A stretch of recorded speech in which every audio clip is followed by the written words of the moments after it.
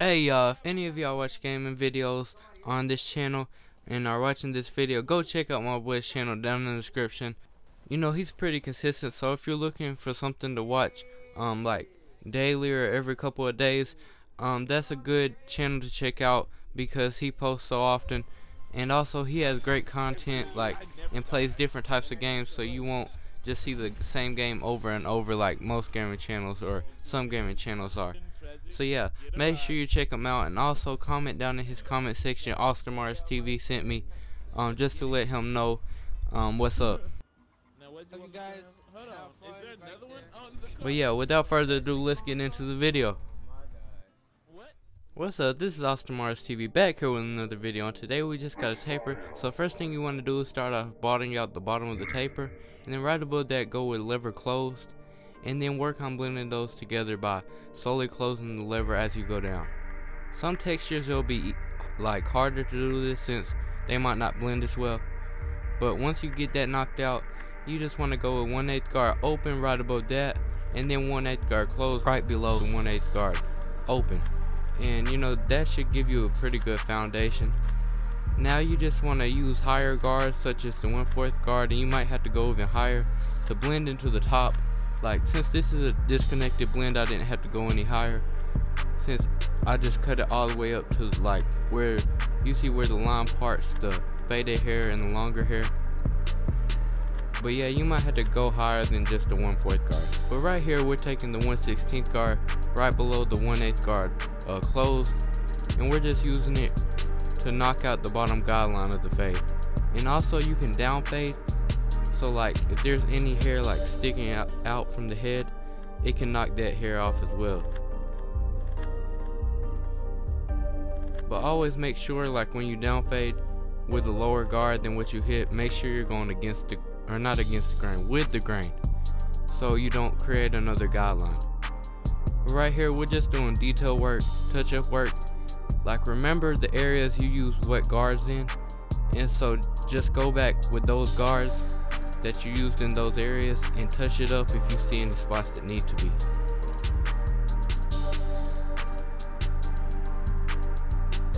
And then same thing for the back. You know, it might sound confusing like if you're just now starting out because I know a whole lot of people say like it goes by fast when I'm recording and stuff. But like once you actually get to doing it, it isn't all that complicated. It's just it's it's simple just transitioning of guards like first you do close then you do open then you fade those together. Then you do the 1 8th guard you know open and close. And then you do like 1 4th guard and then the 1 16th guard. And then you're basically done. You just gotta all it is that makes it sound complicated is like opening it and closing it and stuff but like when you actually do it it's not as hard as you think it just takes practice and all that. Yeah, and you don't have to do them in the exact order I do them. It can be like um different orders. It just depends on the hair texture. I just like doing it like this with the hair texture I was working with in this video. But yeah, I'm trying to keep like a um it down to like where beginners and like advanced people can understand. I know it still sounds complicated at first, but you know, trust me, if you, I know a whole lot of people hit me up saying they haven't cut before and they watch my videos. But all you have to do is be careful and just make sure you use every guard open and close.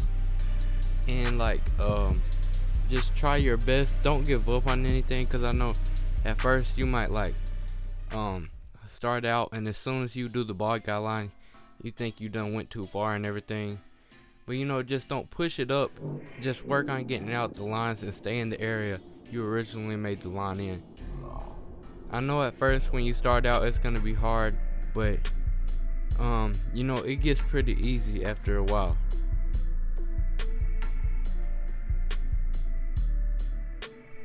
So yeah, this texture of hair, it's not really the easiest hair uh, to blend He's got like an Indian type of texture hair. I know I used him in the older video and people like swore he had a kid in his head. Like they all thought he had an S curl, but this is his natural hair. And like it's a good texture once it's faded, but like it's real. I don't really know how to explain like what word to use, but like I, I just can't put a word on it. But it also grows in different directions, and like the texture of hair in some areas. If you use the wrong guard or go up too high it'll be harder to blend. But once it's blended this hair texture looks really good.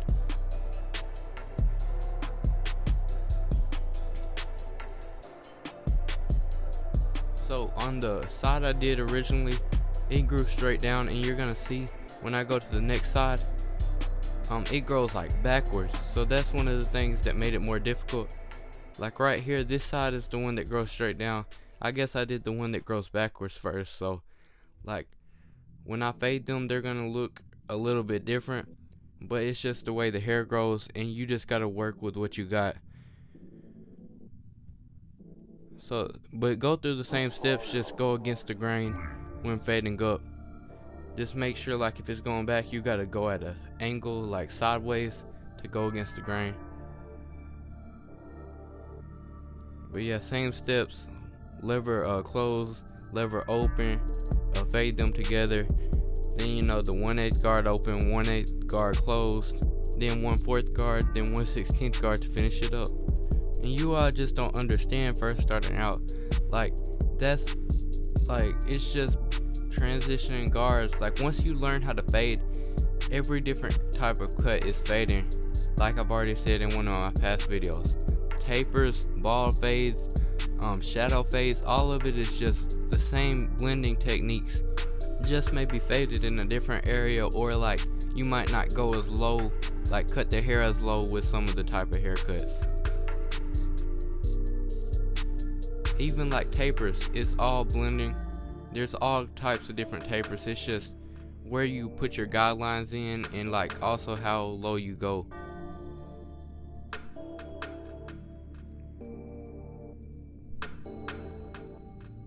So yeah, you see that side, it grows backwards so it kind of looks weird. But right here, um, his hair, I didn't cut his hair down behind his ear, like it, it doesn't really match too much to me. But since it's already cut down, I took a one guard and like just cut it down so I could get any of the hair sticking out and also so it made a more crisp liner. And I also sprayed it with some holding spray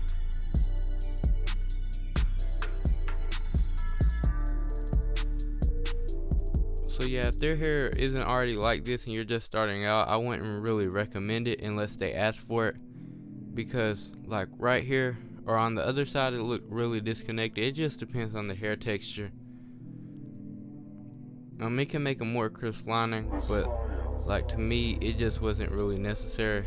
Because before when he didn't have it cut down, it still had a pretty good lining right there.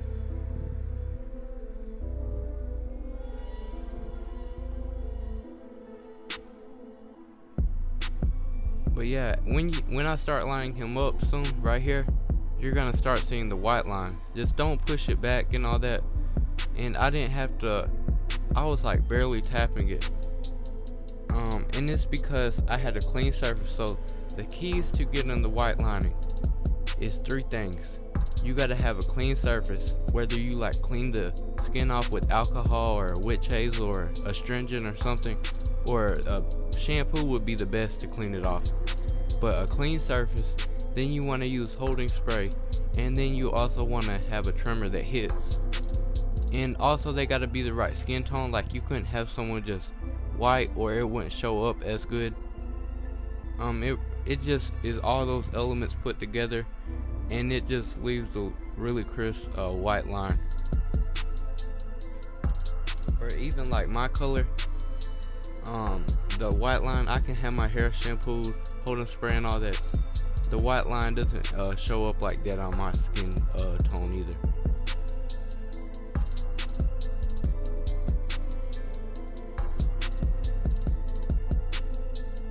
So yeah, just keep it natural. I'm trying to show y'all different angles. So like in the back on this side, it kind of look looks like angle different from the other side, but it's just how I had the camera.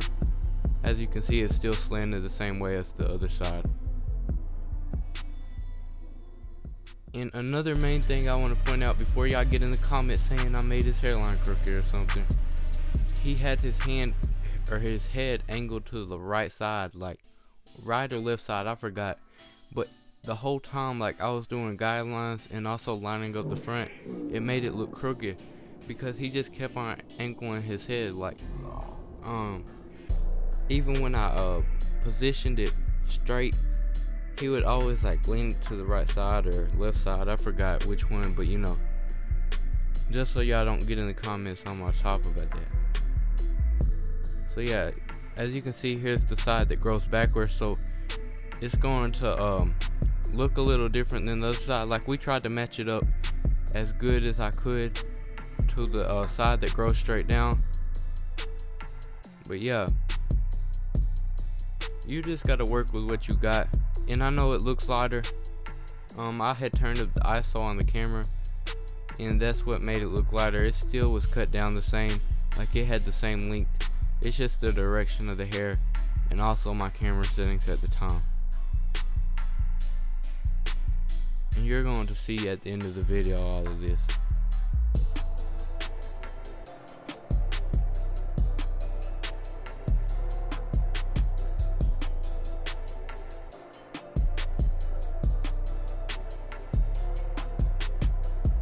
you just want to really take your time on the lineup, this is probably one of the most important parts.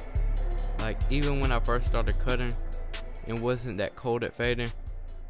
Um, the main reason people went to me was because of my linings. Like my phase was decent, but my linings was pretty sharp.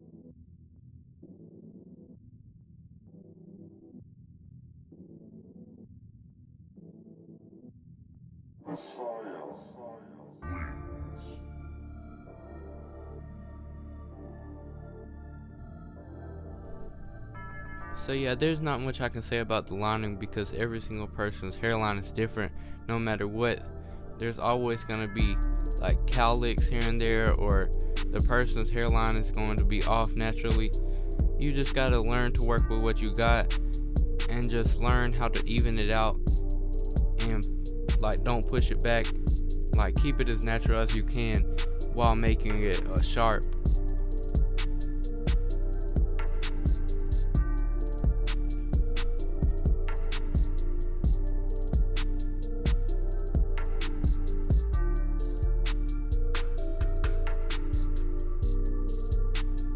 y'all see that ash line coming in. Um, and by the way, if y'all was wondering what kind of holding spray I used in this video, it was a uh, Tresemme, like, I think that's how you say it, Tresemme, whatever it's called. You can get it at like local stores. I think they even have it at Dollar General. But it's a really high quality holding spray in my opinion. It's probably the best one I've used. It's like $5 a bottle. So it's kind of expensive compared to other ones. But um, I would recommend it um, and I think I got level, I'm pretty sure it was level 3 holding spray.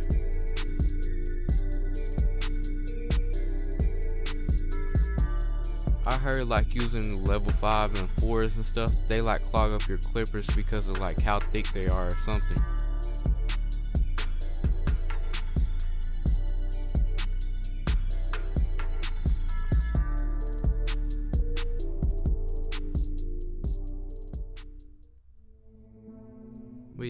See right here how he keeps leaning his head. Even now it's still angled. Like even when I pulled it to the middle, it would still be angled to the side a little bit. Uh, I guess that's just how he likes to hold his head or something. I'm not really sure, but the lining was straight in this video.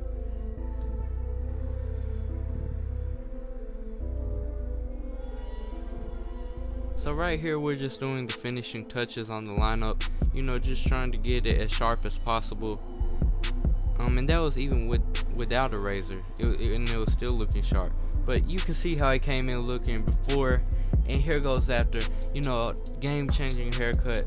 Looks like a totally different person, man. So leave a like if you enjoyed or if you learned something.